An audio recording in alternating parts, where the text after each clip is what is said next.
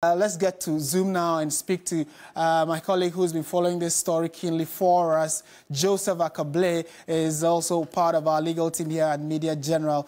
Um, Joseph, very good afternoon to you. Thank you for joining us. Uh, first of all, for the uninitiated and those who are not following, what does this mean? Does that mean Dr. Cassiel Ato-Forson, the minority leader, and Richard Jakpa are free to go?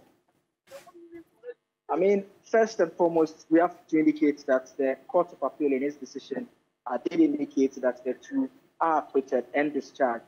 And I'm currently here at the High Court.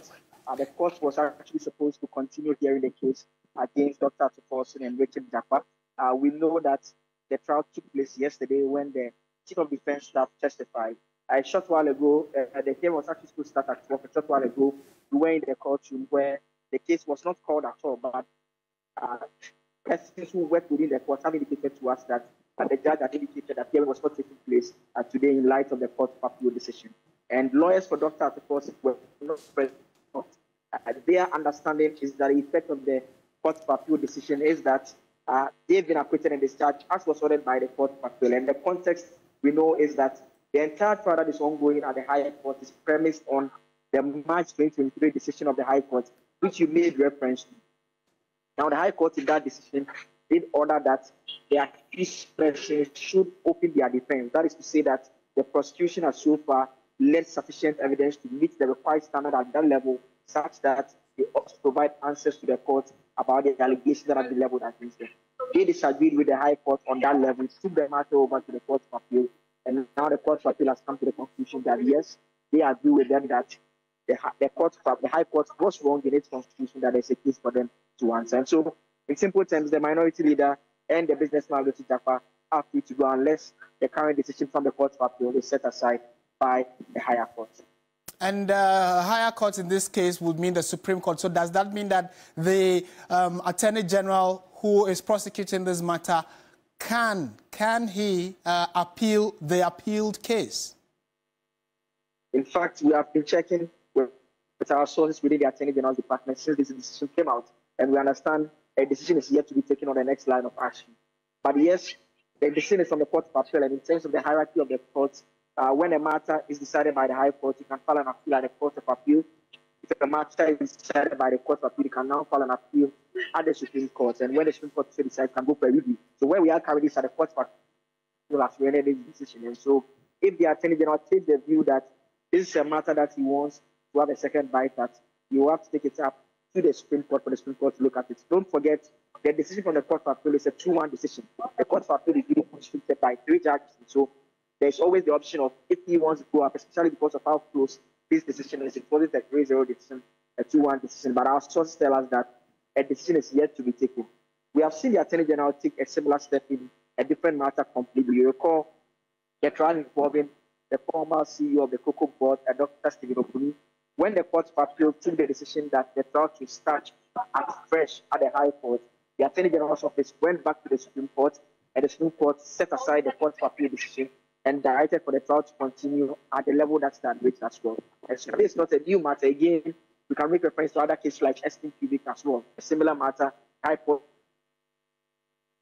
time out to the Supreme Court by an application in terms of supervisory jurisdiction. So uh, seeking the intervention of the Supreme Court in various criminal and even civil matters by the current administration, especially the Attorney General, is not new. But for now, the information we have is that a decision uh, is yet to be taken on the next line of that matter.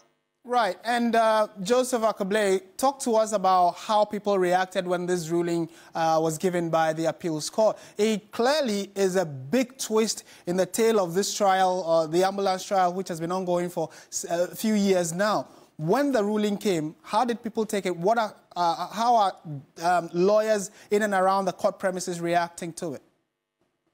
So first, I'll start from the lawyers specifically in the case. And so for lawyers for Dr. Ato-Forson, they are quite excited. They make the point that the decision of the Court of Appeal is consistent with their entire position.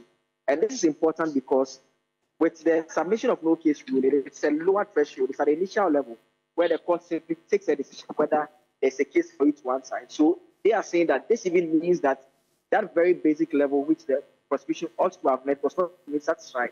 But nonetheless, the trial has been going on all throughout. And so they say that this decision confirms their long-standing position that it was purely a witch hunt that was taking place.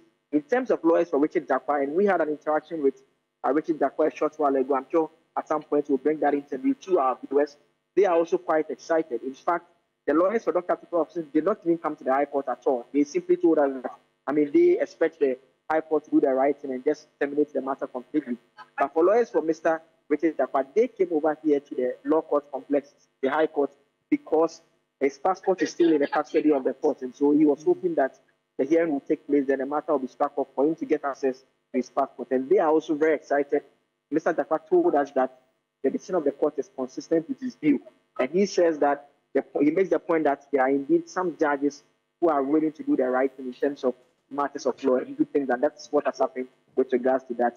Outside the parties in the case, generally among the court premises, a lot of people who are not even connected to this case were simply coming over uh, to the financial court to trying to find out whether the hearing will take place because they were all curious and they couldn't understand how the court appeal matter connects to the high court matter. And that is why we've been trying to provide that clarification that look, the submission of no case, which effectively resulted in the trial continuing, which is what has been now set aside by the court appeal, which effectively means that the matter at the high court shall basically terminate unless a decision of the Supreme Court comes with regards to that particular outcome from the court appeal matter. Right. Thank you so much uh, for that uh, report.